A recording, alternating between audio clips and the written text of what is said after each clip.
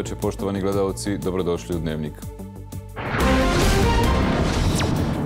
U oči dolaska predsjednice Evropske komisije u Bosnu i Hercegovinu, predstavnički dom državnog parlamenta usvojio rezoluciju kojom se Evropska unija poziva da otvori pregovore sa Bosnom i Hercegovinom rezolucije poput ove i ovi, da, su, da smo još imali neke zakone, sigurno bismo ovaj, e, bili u boljoj poziciji. Kada postoji kompromis, a ne ucijena, mi se vrlo brzo organizujemo, dogovorimo i izglasamo sve kao, kako druge, tako i evropske zakone. Nikakva rezolucija, nikakva deklaracija, nikakva odluka parlamenta na način kako to vlast pokušava da uradi, neće promijeniti odluku Evropske komisije. Predsjednica Evropske komisije u Beogradu pozvala Srbiju da podrži evropski prijedlog statuta zajednice srpskih opština, a Kosovo da ga sprovede. Crnogorcima uputila niz ohrabrujućih poruka. Do kraja emisije između ostalog gledajte. Pogođen izbjeglički kamp u Gazi na stotine mrtvih i povrijeđenih. Izrael tvrdi da je ubio jednog od čelnika Hamasa. Ambasador Izraela u UN-u stavio žutu zvijezdu. Lazar Prodanović, načelnik opštine Bratunac, svoje partijske kolege nazvao mafijašima. To je SNSD. Korumpirane strukture uvezane u želje, preko brata, preko rođaka, preko kuma. Rebalans budžeta Federacije Bosne i Hercegovine može stupiti na snagu za 211,7 miliona maraka veći od dosadašnjeg. Jedan od razloga vanredno usklađivanje penzija za 3,9%. Nedostajućih 69,6 miliona za naše umirovljenike penzionere sutra prije podne sunčano, poslije podne na oblačenje i dalje visoke temperature za ovo doba godine. U kasnim popodnevnim satima ubistvo u Sarajevu jedna osoba je smrtno stradala u naselju Bulevar, druga osoba je ranjena. Napadači su i dalje u bijegu s mjesta događaja Aleksandra Toljuružića.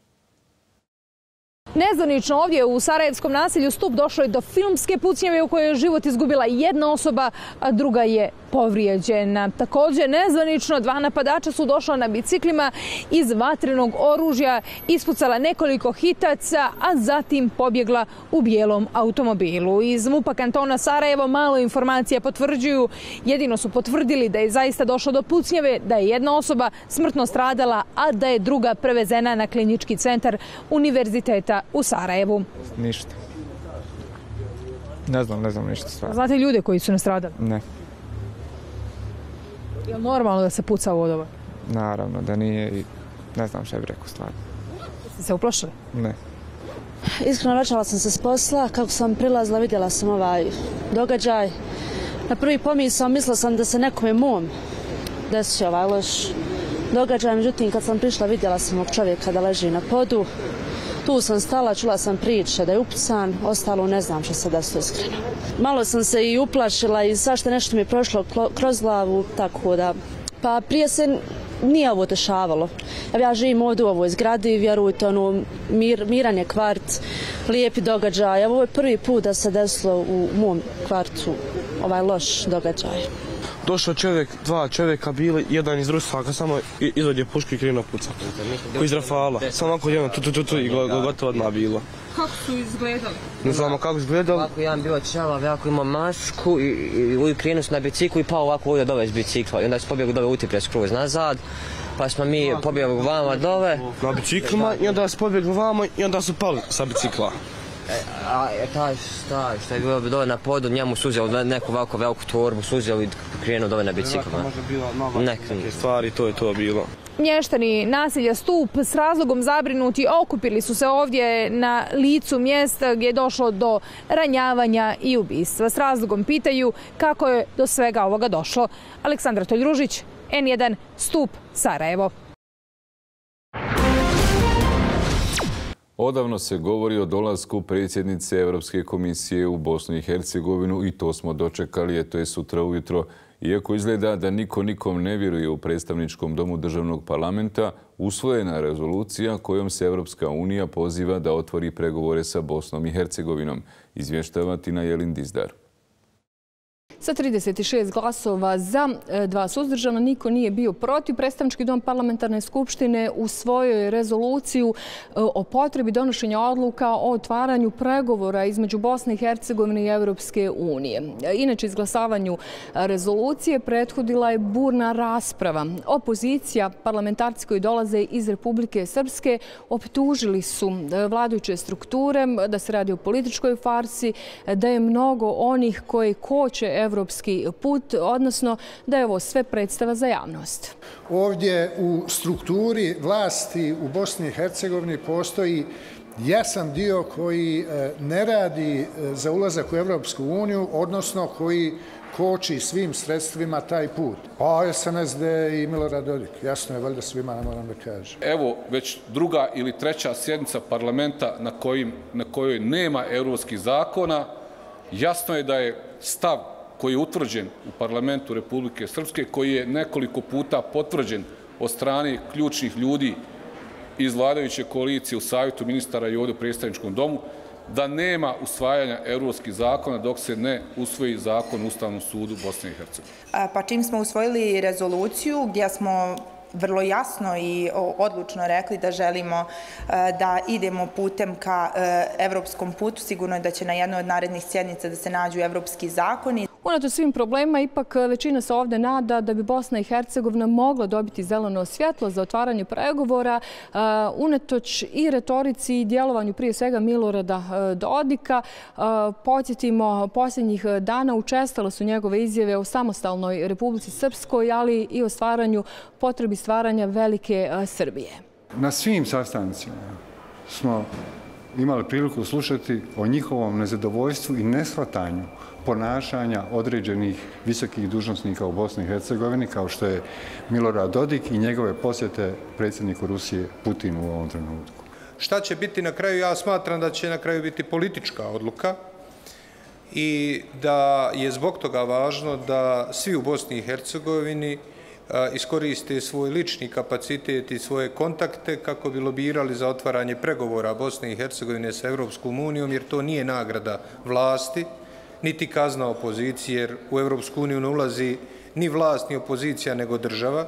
Inače, na dnevnom redu sjednice danas nije bilo ni jednog evropskog zakona, zakon o sudu, e, odnosno sudovima, e, zakon o sprečavanju e, pranja novca, zakon o sprečavanju sukoba interesa, dakle ono što je ranije bilo obećano da će biti usvojeno dan uoči dakle, dolaska Ursula von der Leyen, to se danas ipak nije desilo, nisu se ni našli na dnevnom redu. S druge strane, kako je kazao Nenad Nešić, obraćajući se uoči samog sjednice parlamentarne skupštine, zakoni koji se vežu za za njegov resor su spremni i uskoro bi ipak mogli se naći u parlamentarnoj proceduri. Što se tiče zakona o sprečavanju e, pranja novca, e, on je trenutno na usaglašavanju. E, mogu slobodno da kažem da se radi o finaliziranju i ja se nadam da će u narednim danima on biti gotov. Sanja Vulić i Miodrag Kojić u evropskom putu govorili su e, u majicama e, kojima podržavaju Milorad Dodika. Jako brzo su na to reagirali i zastupnici opozicije iz Republike Srpske e, koji su ovdje pred novinare izašli sa natpisom Jazz Lopove, dakle aludirajući pritom na djete koje prije nekoliko dana upravo to izjavilo u susretu sa Miloradom Dodikom. Tinelin Dizdar, N1, Sarajevo. Iako pomaka ima, jasno je da mi zadugo nećemo biti u Europskoj uniji. Do tada valja slušati o potrebama za reformama. Dok BH političke elite nisu ispunile kriterije koje Evropska unija postavlja pred Bosnu i Hercegovinu, stotine hiljada ljudi svojim odlaskom odabralo je neko od zemalja iz EU porodice. Zbog toga, ali i ratnih dejstava, na drugom smo mjestu u svijetu po veličini dijaspore, pokazalo je istraživanje Forbesa. Građani nisu optimistični da ćemo u narednih deset godina ući u Evropsku uniju, a od EU integracije očekuju stabilnost i razvoj. Najradije bi odmah, ali s, ovakim, s ovakom vladom vladom i sa ovakvim radom i ovakvim neslaganjem među ljudima teško, vjeruj mi. Nećemo ikada do toga doći. Šta građani očekuju od Evropske unije? Šta za naše ljude znači Evropska unija? Šta bi očekivali kada bi bili dio EU porodice? Vjerovatno bi mogli slobodnije putovati, neke fondovi, bolje, više radnih mjesta, investicije. Neki od građana očekuju da će posjeta predsjednice EU komisije, koja je zakazana za sutra, značiti novi korak ka pridruživanju. U izvještajima Evropske komisije konstantno se ponavlja da je neophodno temeljito poboljšati zakonodavni i institucionalni okvir, reformisati javnu upravu i jačati vladavinu prava. Kažu neće doći praznih ruku. I ako neće doći praznih ruku, je to nama ponude, je to nas u Evropsku uniju. Optimistični ste da? Ja sam optimistična i nadam se što prije Iz EU delegacije trenutnu situaciju označavaju kao priliku da se dovrši proces proširenja. Ističu da Bosna i Hercegovina konstantno pravi korake i naprijed, ali i nazad. Rezultat je status quo. U proteklih nekoliko mjeseci imali smo priliku vidjeti pozitivne znakove i napredak. U isto vrijeme vidjeli smo i zabrinjavajuće znakove. Radi se na primjer o kriminalizaciji klavete u Republici Srpskoj. 14 ključnih prioriteta na meniju političkih diskusija često nisu primarni. Zbog toga analitičari ne ne očekuju ubrzano pridruživanje. Također imamo situaciju da vidimo dakle, da se licitira i datum, 2030. godina možda može zvučati daleko, ali zapravo čini nam se da u sadašnjoj konstelaciji odnosa je to možda i e, prilično ambiciozan datum, imajući u vidu stanje u kojem se zemlje regiona nalaze i zapravo e, to nas negdje upozorava na potrebu snažnijeg reformskog iskoraka u svim zemljama regiona. S druge strane, mnogo je i do Evropske unije. Geopolitičke okolnosti idu na ruku Bosni i Hercegovini, jer je u interesu Evropske unije da ovaj dio Balkana bude prozapadno orijentisan. Evropska unija pružila je ruku Bosni i Hercegovini, kažu analitičari, dodjelom statusa kandidata. Dakle, situacija se dodatno komplikuje. Sada imamo i u Crnoj Gori vladu prema kojoj su i Sjedinjene američke države i Europska unija dosta skeptične i u tom smislu stvari se komplikuju, a ne da se e, stvari e, rješavaju. Iz tog razloga, pored ovog momentuma o kojem se govori, postoji interes za politiku proširenja i tako dalje, e, naš prvi i primarni zadatak bi trebao biti da momentum koji je stvoren u regionu, koji je dosta negativan, da se on u stvari pokuša zaustaviti. Mnogo je političkih silnica od kojih to zavisi. Većina građana želi BiH vidjeti u Evropskoj uniji. Politički predstavnici barem deklarativno misle isto tako. U praksi reforme koje se stavljaju pred BiH uglavnom su na čekanju. Azur Delić, N1, Sarajevo. Angelo Tartaglia, italijanski advokat koji je danas boravio u Banja Luci, pokazao je interesovanje da učestvuje u sudskom postupku koji se pred sudom Bosne i Hercegovine vodi protiv Milorada Dodika i Miloša Lukića. On je rekao da je Dodik predmet mnogih napada i to samo zato što, kako kaže, vodi jednu demokratsku politiku i brine o svojim građanima. Poručio je i da se planira postupak pred Evropskim sudom za ljudska prava u Strasburu protiv visokog predstavnika Kristijana Šmita. Italijanski advokat stigao je u Banja Luku zbog prikupljanja medicinske dokumentacije radi dokazivanja oboljenja od malignih bolesti kod građana Republike Srpske uzrokovanih, kako tvrde, NATO bombardovanjem osiromašenim uranijumom. Ja vam sada ne mogu otkrivati strategije odbrane kojom ćemo se mi baviti, ali razlog zašto učestvujem u ovom je zato što gospodin Schmidt sve što radi, radi ilegalno. A naravno prvo volim da učinim, pa ću vam onda obrazložiti svoju strategiju. Za to vrijeme pale su web stranice institucija u Republici Srpskoj, sve zbog sankcija SAD-a. Naime, onemogućen je pristup zvaničnim sajtovima vlade, predsjednika Republike Srpske i inspektorata.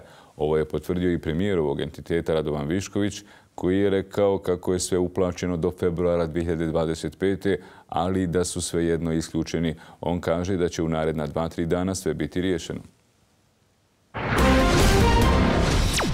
Prije dolaska u Bosnu i Hercegovinu, predsjednica Europske komisije Ursula von der Leyen boravila je u Podgorici i Beogradu.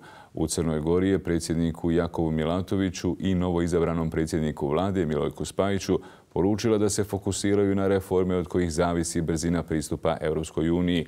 Crna Gora je predvodnica, ima tu posljednju milju da pređe, treba je malo pogurati, poručila je Ursula von der Leyen. Podgoricu je posjetila u danu izbora 44. crnogorske vlade na čelu sa Milojkom Spajićem.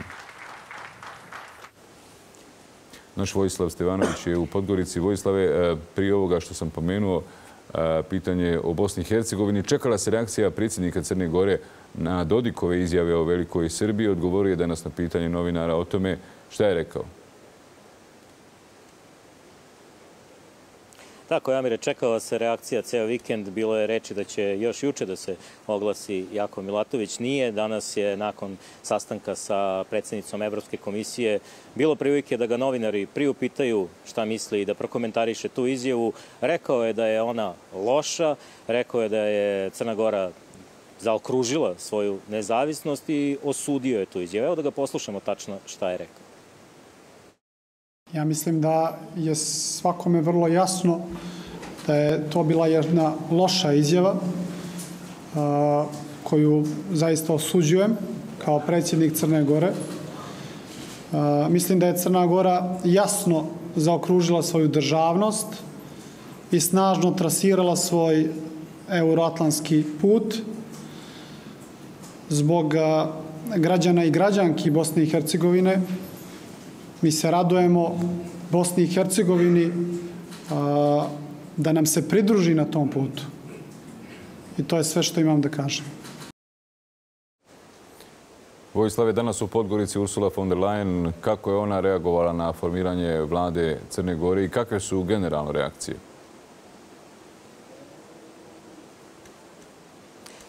Prve reakcije su zapravo istigle iz eh, Evropske komisije, potom iz Sjedinjenih država. Ursula von der Leyen je rekla da je najvažniji zadatak vlade da isporuči rezultate koje su i predviđeni u eh, onome što je mandatar, sada premijer, Jakov Milatović i obećao u svom ekspozeu, dakle da, kako je ona rekla, ne razočara građanke i građane Crne Gore u njihovom nastojanju da Crna Gora što pre postane članica Evropske unije iz Sjedinjenih država, odnosno iz ambasade SAD-a ovde u Podgorici, stiglo je i saopštenje gde se kaže da SAD kao saveznik Crne Gore u NATO, da je zabrinuto da bi stranke koje istorijski ne podržavaju zacrtane ciljeve nove vlade mogle da spreče napredak Crne Gore. Dakle, i Evropska unija i SAD pažljivo će gledati u novu skupštinsku većinu koja podržava vladu. Podsjetiću, u toj skupštinskoj većini se nalaze i stranke iz Alijanse za budućnost Crne Gore, pro-srpske stranke, koje ovde u Crnoj Gori ne važe baš za pro-evropske, a posebno ne za pro-NATO, bar je takva njihova politička istorija do sada bila. Nakon e, izbora premijera i nakon održane prve sednice vlade, e, Milojko Spajić je održao i prvu konferenciju za novinare i to je bila i prilika da prokomentariše ovo saopštenje iz ambasade SAD. Nadamo se da ćemo, da ćemo čepiti uh, evropske integracije i uh, da ćemo krenuti uh, ubrzano i da ćemo biti prva sljedeć, sljedeća članica Evropske unije. Koliko će Beograd da ima ulogu u nove vlade, odnosno u radu nove vlade i za to je nešto što vas također pije? Nula. A o formiranju do sada koliko ima? Isto mislim da je nula.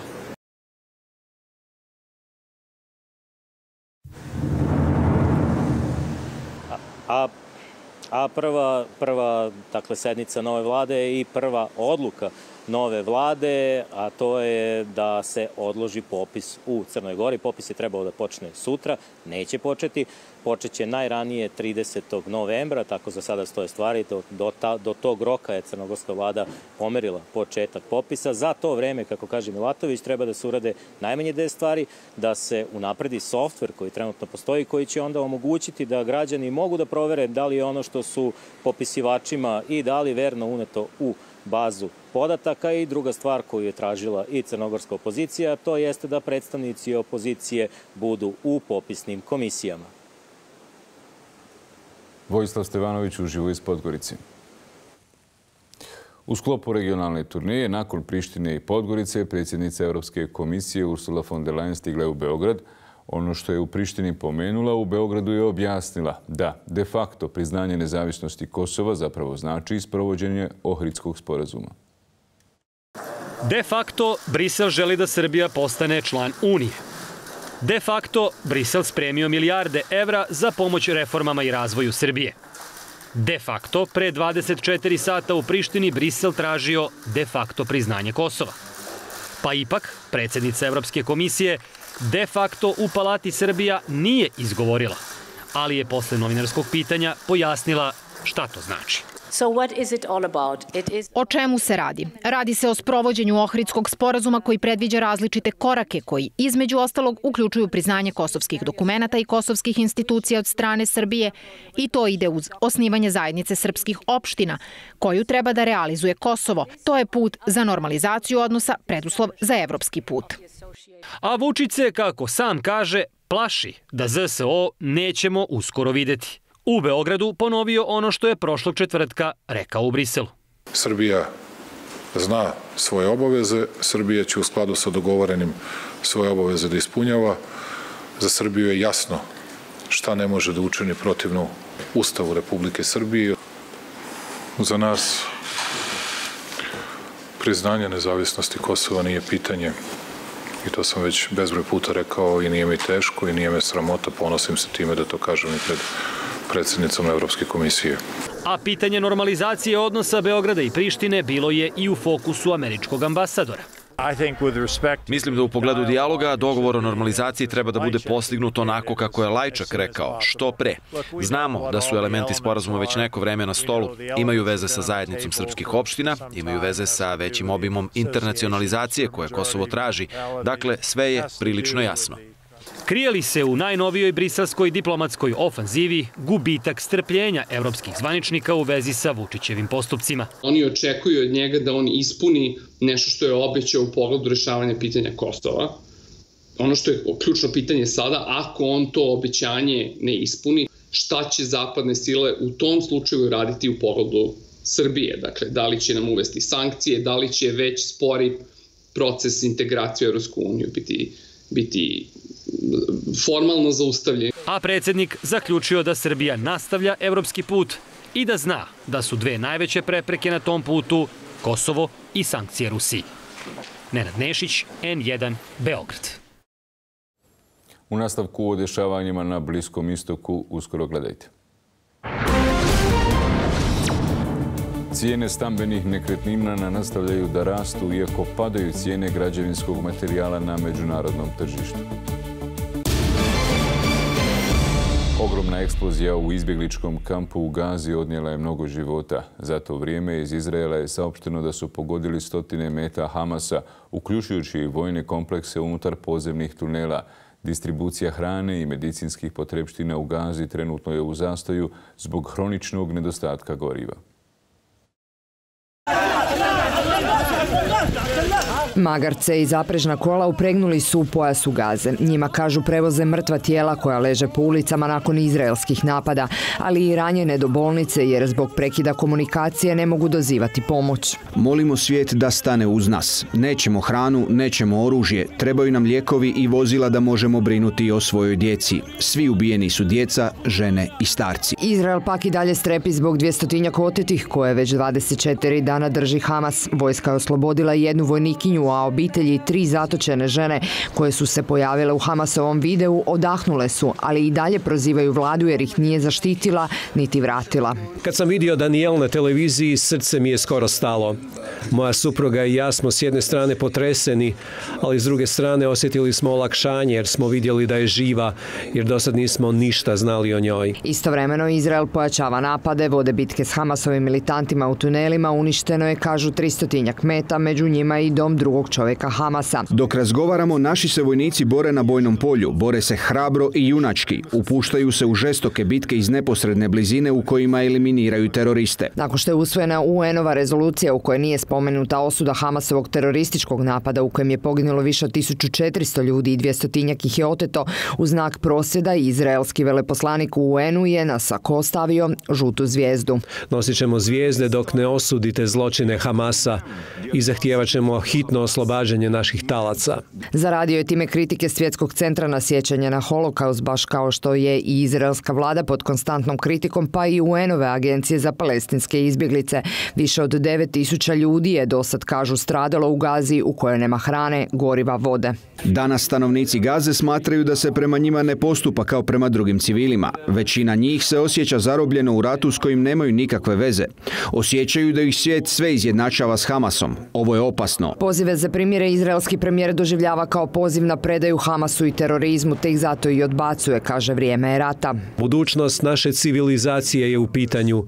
Moramo dobiti ovaj rat. Učinit ćemo to minimalizirajući civilne žrtve. Čvrsto mu vjeruje Amerika koja smatra da prekid vatre trenutačno i nije pravi odgovor i tvrde da je Izrael uvjerio Joe Bidena da će u gazu puštati 100 kamiona humanitarne pomoći dnevno. Američki predsjednik je od premijera Netanyahua dobio obećanje da će Izraelci nastojati podržati značajno povećanje protoka humanitarne pomoći u gazu. Svjesni smo da će, čak i uz povećanje, trebati vremena da se nadoknadi. Dosad je u gazu, od kada je omogućen ulazak iz Egipta, prema dostupnim informacijama ušlo svega oko 170 kamiona humanitarne pomoći.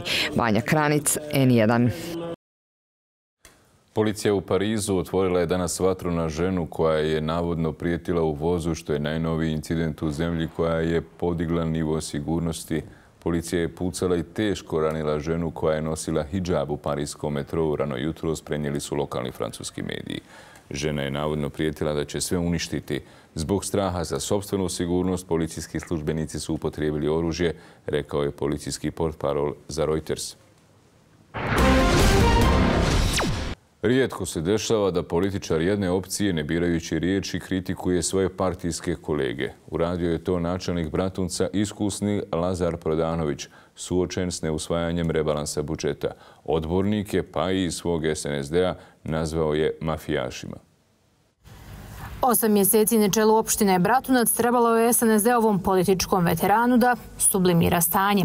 Kriminal, nepotizam, korupcija, ucijene i još je gore od izrečenog tvrdi Lazar Prodanović. Doktor po vokaciji dao je dijagnozu lokalne politike, a prst je upravo u odbornike svoje stranke SNSD-a.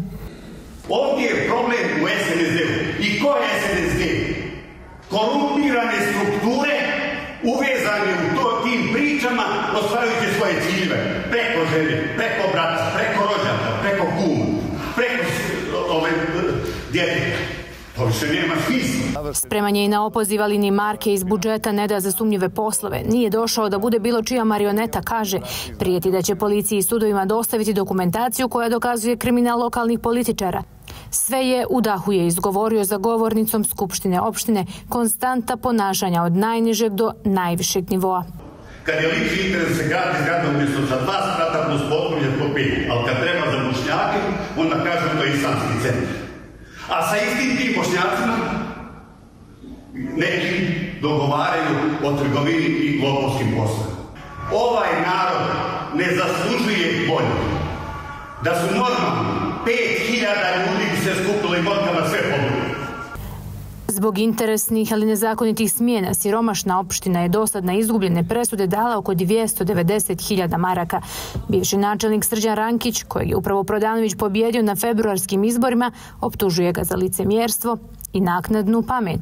Sada Prodanović pred narodom glumi poštenjačinu, jadnika i žrtvu, prećutkujući narodu da odbornici samo traže ono što im je obećao za uzrad ako izglasaju moj opoziv.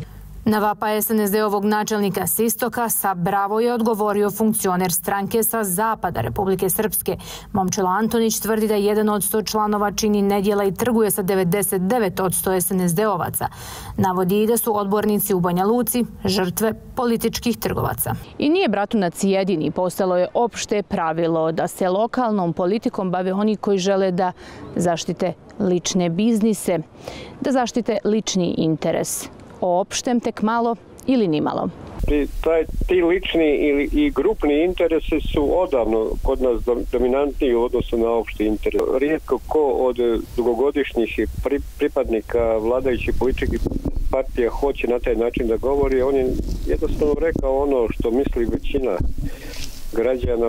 Štete je što se mediji više ne bave lokalom, kaže novinar Marko Šikuljak, ne dvojbi ko i kako na okupu drži različite interese u SNSD-u. Dakle, Bratunac nije ni po čemu izuzetak i oni zapravo tu se vidi da ne zavise ni od stranke, nego su oni zapravo ta stranka. Predsjednik te stranke je najbolji menadžer različitih interesa i on ih i u, jednom uh, slučaju održava u ravnoteži, u drugim slučajima čak i postiče te razne frakcije. E, Dodik nikad nije ni dozvolio u nekim ovaj mjestima da jedan pojedinac odskoči previše. Koliko se političari vode opštim interesom, idealima možda najbolje pokazuje i primjer iz Banja Luke. Funkcioner SDS-a Boris Šukalo preko noći obukao crveni dres SDP-a, desno, centar ili lijevo. Nekad nije bilo svejedno. Snežana Mitrović, N1, Banja Luka. Igre vlasti u kantonu Sarajevo se nastavljaju, a Nihad Uk, opet mandatar za premijera, predao je predsjedavajućem Skupštine kantona Elvedinu Okeliću prijedlog novog saziva kantonalne vlade. Novi ministar zdravstva trebao bi biti Enis Hasanović, ministar komunalne privrede, infrastrukture, prostornog uređenja, građenja i zaštite okoliša Bojan Bošnjak, ministar financija trebao bi biti Afan Kalamujić, Adna Masihović, kandidat je za ministricu za nauku, visoko obrazovanje i mlade kantona Sarajevo. Dom naroda parlamenta Federacije Bosne i Hercegovine usvojio je rebalans budžeta koji će za oko 211 miliona maraka biti veći u odnosu na trenutni. Za opoziciju ovim nisu riješeni stuštinski problemi. Pojedini ga ocjenjuju osvetničkim. Sa 46 glasova za, 12 protiv i 10 suzdržanih, kasa federalnog budžeta do kraja godine biće teža za oko 211 miliona konvertibilnih maraka i iznosit će više od 6 milijardi 900 miliona. Međutim, ni ovog puta bez kritike opozicije. Za delegate SDA rebalansom nisu riješeni suštinski problemi najugroženijih kategorija stanovništva, ali se zato uspješno realizuju zapošljavanje na entitetskim jaslama. Nemamo dovoljno sredstava za fond solidarnosti, nemamo dovoljno sredstava za uh, civilne žrtve rata, nemamo dovoljno sredstava za, za invalide, ali zato imamo sredstva za dodatna nova upošljavanja i u periodu od nepunih šest mjeseci se uspjelo uposliti 29 novih e, radnika koji će primati platu iz budžeta Federacije Bosne i Hercegovine. Iz Fonda Solidarnosti ranije su poručili da im do kraja godine nedostaje 70 miliona konvertibilnih maraka za skraćivanje liste čekanja za nabavku skupih medikamenata, no za te namjene vlada je na kraju ipak izdvojila 10 miliona. To ne rješava znači, pitanje svih onih pacijenata koji čekaju, ali mislim da jedan mali koračić u dobrom smjeru i nadati je se da će se to sustavnije riješiti dakle, u vremenu koje je pred nama. Podržavam ovaj rebalans i pogotovo zato što se osiguravaju sredstva u iznosu od 67 dodatnih miliona maraka za realizaciju zakona o povećanju invalidnina osobama koji sam usvojio početkom ove godine i dakle današnji rebalans je garant tih isplata i ove godine, ali su tako planiranja tih isplata i u budućnosti. Budući da rebalansom ovog puta neće biti novca za ranije planirane infrastrukturne projekte u Zenici i krajini, za Nesovog Emira Dautovića budžet u ovom obliku je osvetnički. Glavna teza i potvrda ove moje tvrdnje je da je znači, od svih tolikih infrastrukturnih projekata skinut Sazin.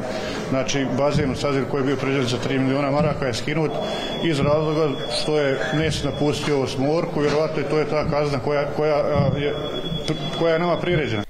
Mogla bi nas ponovo kazniti i priroda, i to na ljetu u sezoni požara, jer nema novca ni za iznamljivanje Kanadera i njihov smještaj, ukazao je delegat pokreta za nove generacije Damir Marjanović. No ministar Ramo Isak umiruje. Novca za te namjene će biti naredne godine, jer je tekuća pri kraju. Jer će to biti budžet koji ćemo mi zajedno svi, koji smo dio parlamentarne većine i koji smo dio vlade praviti.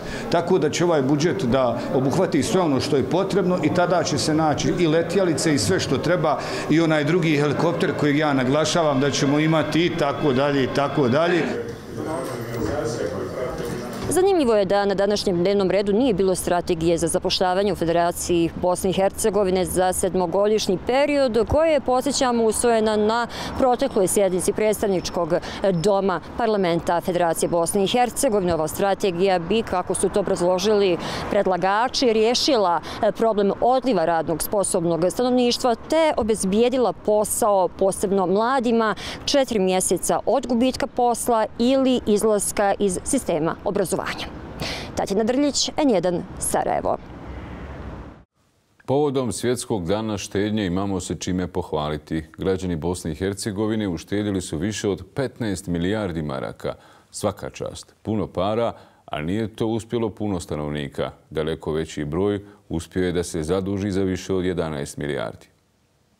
Ko dobro zaradi, može i uštediti, kažu građani koji se uz svakodnevne troškove ipak trude ostaviti koju marku sa strane za crne dane, koji su pojedinima već stigli. Ko dobro zaradi, može i uštediti. Ne mogu penzioneri uštediti ništa. Ono štedi da može preživiti. Ali ovi moćnici, oni imaju, oni to štedi, oni imaju nolike milijarde u bankama. Mora se vot računa, jer ovo je baš vrijeme kad svi moramo, i mlađi i stari, a stari pogotovo, mislim, ne znam ni od čega da uštedi, vjerujte mi. Starije generacije trošu ono što su uštedile za vrijeme mlađih dana. Tako je nekada štedila i Amila Omer Softić, ne u slamarici ili ispod jastuka, nego u banci. Bivša država, kaže, garantovala je deviznu štednju, koja je nestala zajedno sa Jugoslavijom.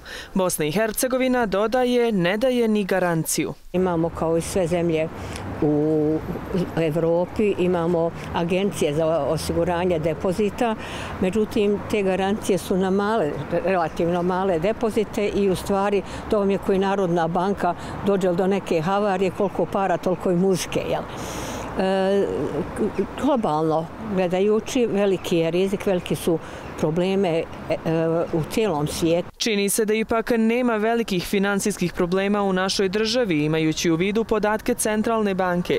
Ukupni depoziti stanovništva iznose 15,57 milijardi konvertibilnih maraka i veći su za skoro 10 odsto u odnosu na prošlogodišnji septembar. Od ukupnih depozita kod komercijalnih banaka depoziti stanovništva imaju daleko najveće učešće, 51 odsto, pa stoga predstavljaju važnu osnovu finansiranja i funkcionisanja banaka. Depoziti stanovništva od februara 2023. godine bilježe konstantan porast, što je nakon turbulentnog perioda od marta 2022. godine do januara ove godine pouzdan znak povjerenja u bankarski sektor Bosne i Hercegovine. Sa pomenutim saglasan je i Admil Nukić iz Federalne agencije za bankarstvo. Od tih 15,5 milijardi, 11,3 eh, milijardi se odnosi eh, na Federaciju Bosne i Hercegovine, rast e, ukupnih šte depozita stanovništva u prvoj polovini godine je bio negdje oko 6% u odnosu na kraj 2022. godine, što je zaista e, važan podatak u kontekstu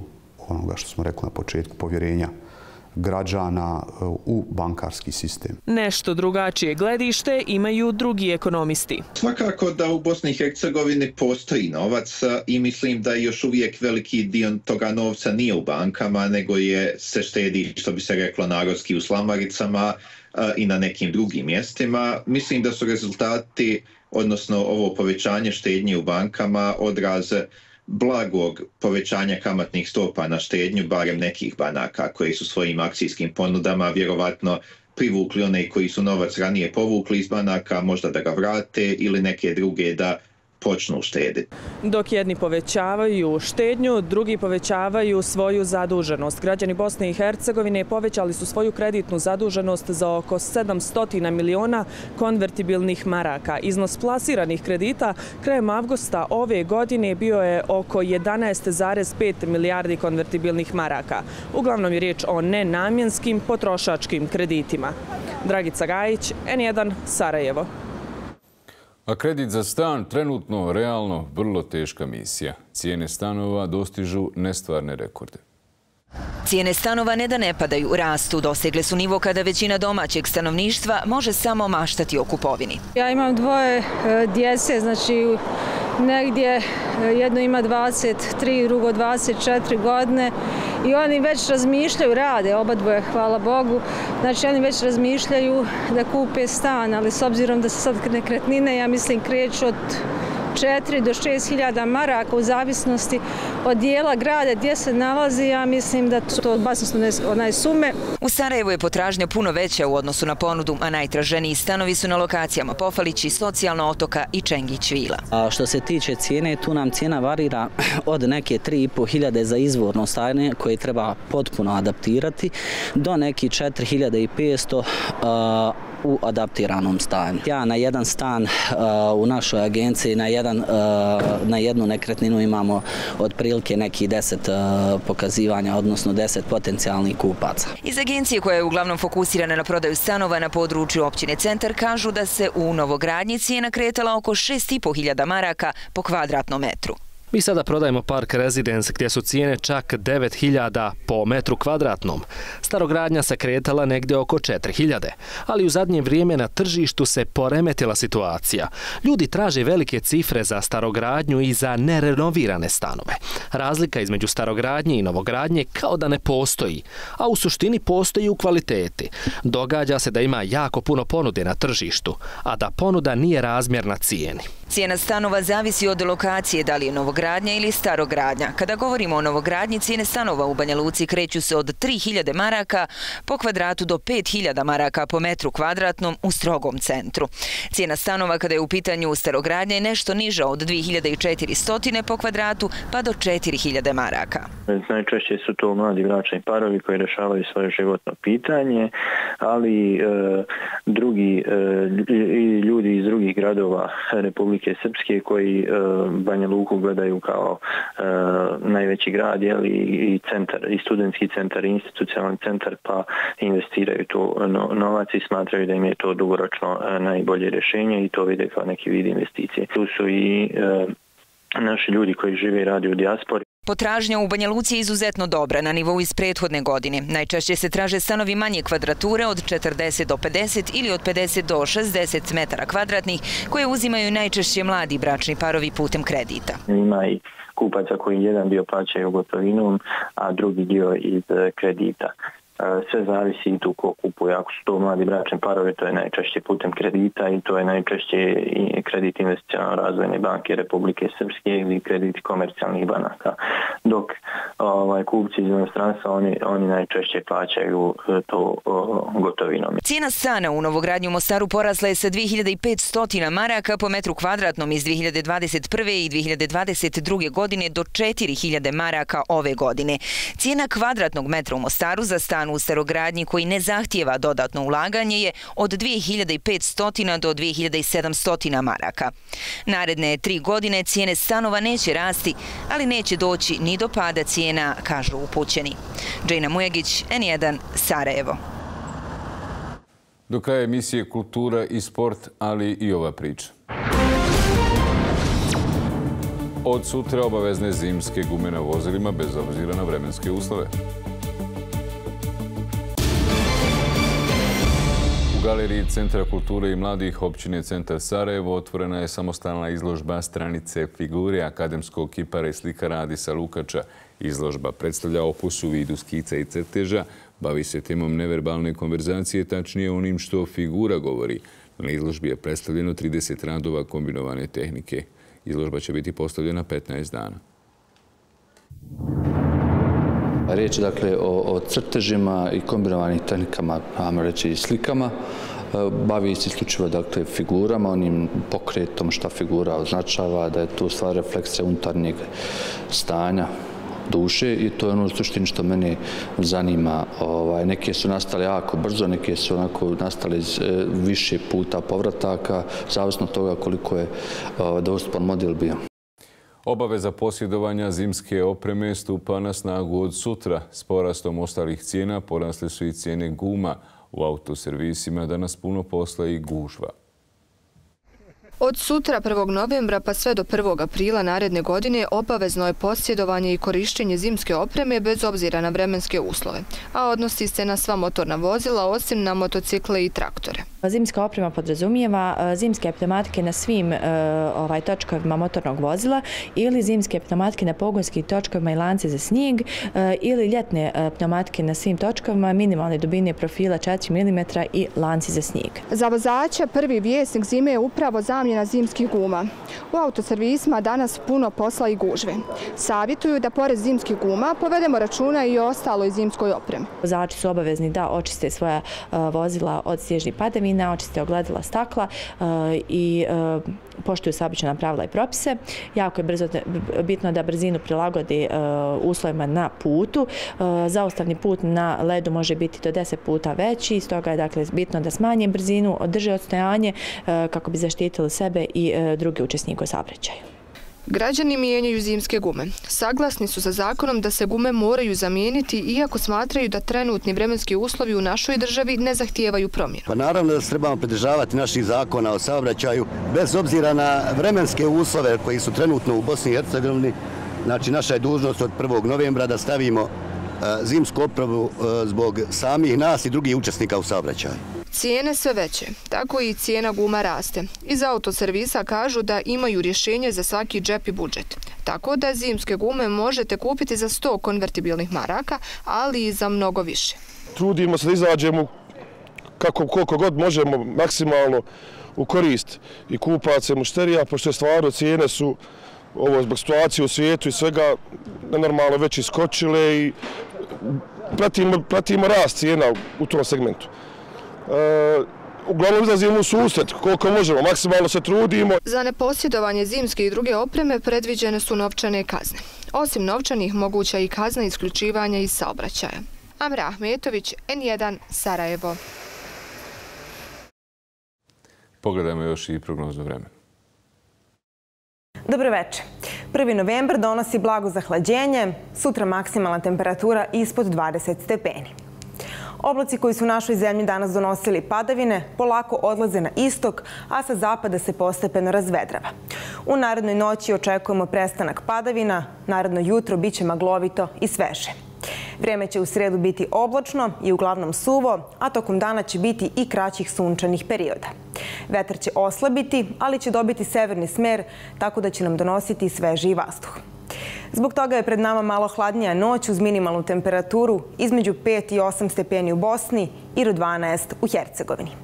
Sutra također svežije nego prethodnih dana uz maksimalnu temperaturu ispod 20 stepeni u cijeloj zemlji. U nastavku nedelje promenljivo i dalje toplo. U četvrtak će ujutru biti slabe kiše, a posle podne su mogući pljuskovi. U petak očekujemo obiljne padavine u cijeloj zemlji, a nestabilno ostaje i za vikend, u subotu smena sunca i kiše. Toliko dnevniku, poštovani gledalci, hvala na pažnji, ostanite uz jedan prijatelj.